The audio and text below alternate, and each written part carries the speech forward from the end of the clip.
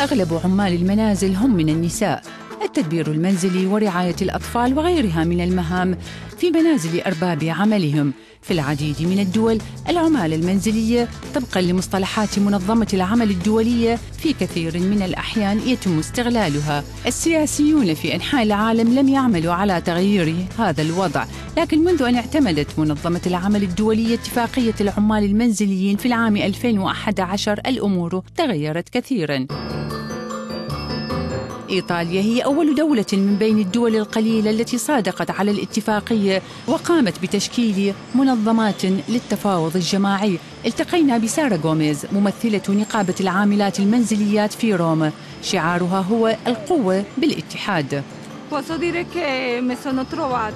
أستطيع أن أقول لكم أنني التقيت بعمال حين حصلوا على بطاقة عضوية النقابة بكوا لأنهم شعروا أنهم معترف بهم كعمال. وهذا يمنحهم القوة حقا.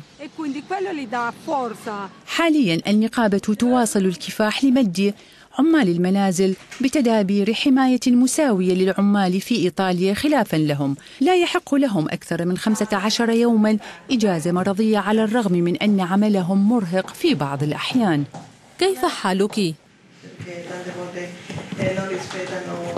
إنهم لا يحترمون حقوقنا حتى حين نمرض هل تعملين الآن؟ لا لم أعد أعمل. عشت فترات عصيبة جدا مع صاحب العمل. كان يطلب مني أن أعمل حتى حين أكون مصابة بالحمى. هل تحصلين على إعانات البطالة؟ نعم. نعم بفضل الله ولأنني اتصلت بكم وإلا لم أكن سأتمكن من التعامل مع الوضع. حالتي كانت سيئة جدا. يجب العمل أيضا على ما يتعلق باستحقاقات العجز منذ وصولها من غواتيمالا قبل 17 عاما إيفلين تعمل للدكتور كارلو. اليوم إنها تعاني من قدمها بدعم من النقابة تكافح لحالتها على التقاعد المبكر قبل إنهاء الخدمة لأسباب طبية. أنا نشيطة جدا. أحب الذهاب إلى العمل ليس لكسب المال فقط بل لأنني أحب العمل حقا. منذ أن أعلمني الأطباء أن مرضي قد يؤدي بي إلى إعاقة خطيرة. أشعر كما لو أن حياتي توقفت. إيطاليا هي واحدة من الدول القليلة التي فيها جمعية من أرباب العمل المنزلي. نقابة دومينا تساعد العائلات على إنجاز المعاملات كالتوظيف وصياغة العقود والتأكد من القيام بجميع المساهمات الصحيحة. هذا يبسط الأمور بالنسبة للعائلات التي توظف العاملين ويعني أيضا اتفاق الجانبين على الشروط والأحكام. حاليا أكبر عمل بالنسبة لنقابة دومينا هو خلق ثقافة للعمل المنزلي في إيطاليا. إيطاليا كانت البلد الأول الذي وقع على اتفاقية منظمة العمل الدولية. هذا كان ممكنا بفضل عملنا مع النقابات العمالية وكان ممكنا أيضا لأن إيطاليا عملت لسنوات في مجال العمل المنزلي من أجل تحويله إلى نشاط يليق بالعامل وبأسعار معقولة بالنسبة لصاحب العمل. وفقا لمنظمة العمل الدولية في جنيف هناك حد أدنى لأجور العمال المنزليين في ستين بلد فقط. لكن في بعض الدول هذه الأجور هي أقل من التي يحصل عليها العمال الآخرين. في فرنسا وإيطاليا والنمسا وبلجيكا وهنا في جنيف تم العمل بنظام خدمة الصكوك. إنها خدمة تضمن للعمال استحقاقات الضمان الاجتماعي.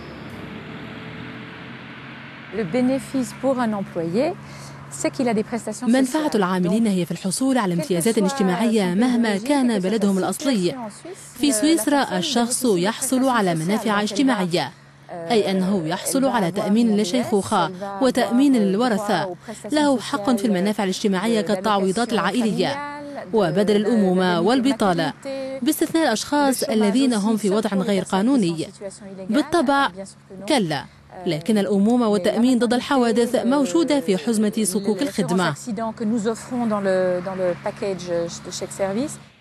اليوم في سويسرا ثلث أرباب العمل الذين يوظفون العمال المنزليين يستخدمون هذه الخدمة.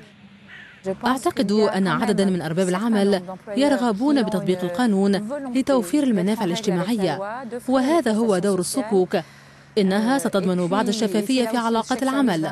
علينا التوضيح باسم الحقوق والواجبات وغيرها. إننا سنبحث كثيرا فيما يتعلق بهذه الصكوك. لربما أنها العقوبة الوحيدة. لا توجد امتيازات لأرباب العمل الذين لا يحترمون الحد الأدنى للأجور القانونية. في هونغ كونغ توظيف العمال المنزليين واقع آخر في السنوات الأخيرة بعض العاملات. تعرضن لنوع من العبودية الجديدة قصص المعاملة السيئة احتلت عناوين الصحف. في مركز أسسته الحكومة هناك دورات تدريبية للعاملات المنزليات في هونغ كونغ بعد التخرج بالإمكان التقديم على الوظائف من خلال المركز وبأجر لائق. في هونغ كونغ هناك الكثير من الناس الذين يوظفون عمالا في منازلهم. إنهم يريدون أن يكونوا قادرين على رعاية المواليد الجدد والرضع والمسنين أيضا.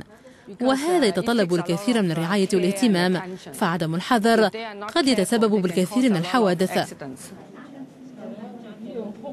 فيونا لونج كانت تعمل في أحد المصارف. تأمل أن تكون هذه الدورة بداية لمهنة جديدة بالنسبة لها. بعد هذه الدورة في المركز حين أحصل على شيء من الخبرة سأجد وظيفة للعمل في رعاية الأطفال حديثي الولادة. في هونغ كونغ هذه المهنة لها مستقبل أفضل. لذا أتمنى ممارستها على المدى الطويل.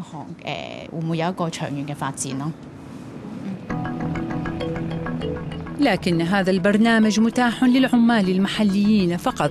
المهاجرون يعملون في ظروف شديدة القسوة وأحيانا لا خيار لهم باستثناء العيش في منزل صاحب العمل وهذا قد يؤدي إلى انتهاكات كبيرة.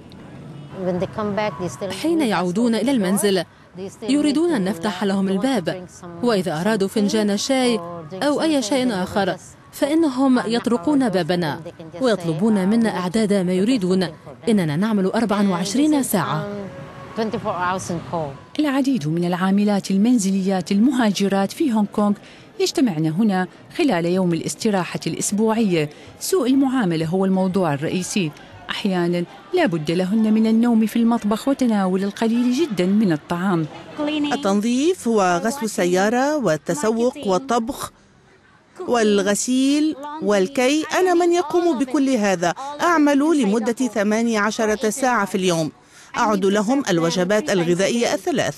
إنهم لا يتركون المنزل وعلي أن أتحلى بالصبر معهم.